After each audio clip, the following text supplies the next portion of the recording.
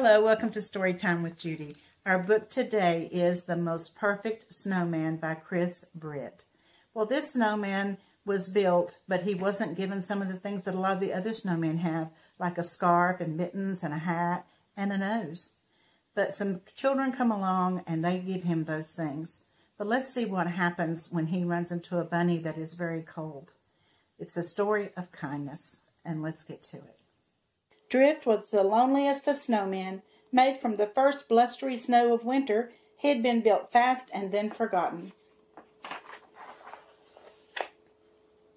With only two skinny stick arms and a small mouth and eyes made of coal, Drift dreamed of wearing a stylish hat, scarf, and mittens just like the other snowmen.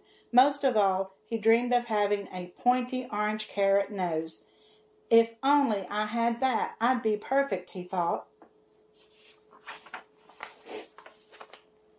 All the other snowmen were much fancier than Drift and would giggle at him with frosty glee. Nice nose, love your style, sassy out, snazzy outfit. Dressed in their finery, they would have snowy fashion parades, snowball fights, and snowman dances that lasted all night but drift was never included. So he spent his days alone, swishing and sliding through the wintry woods, often stopping in the shadows to watch the others laugh and play.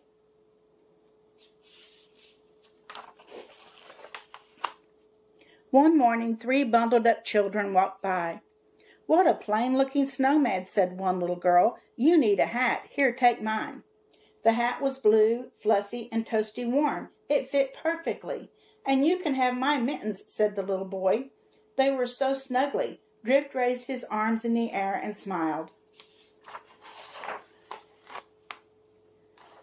The last little girl turned to Drift. Why don't you take my scarf?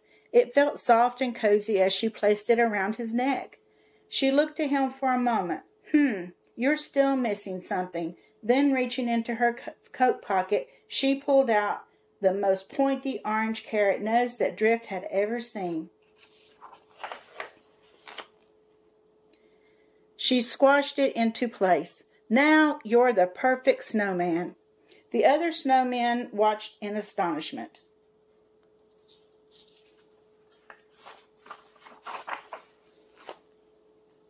All afternoon, Drift played with the children. He had never been so happy.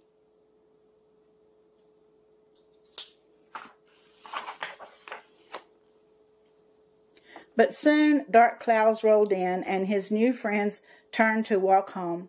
Drift thanked them and waved goodbye. That night, a terrible blizzard began to blow. Icy snowflakes ripped at Drift's new hat and mittens and tossed them into the air. Oh no, Drift gasped. He set out to watch, search for his missing clothes. He looked up into the trees and down the stream, over hills and under bushes, but they were gone.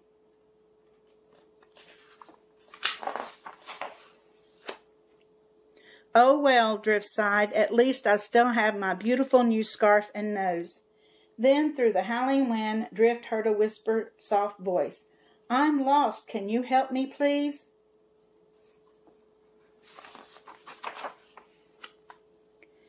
It was a tiny bunny. It looked frightened and shivery cold.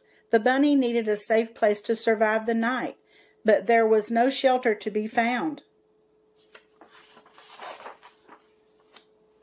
Drift took off his scarf and wrapped it gently around the bunny.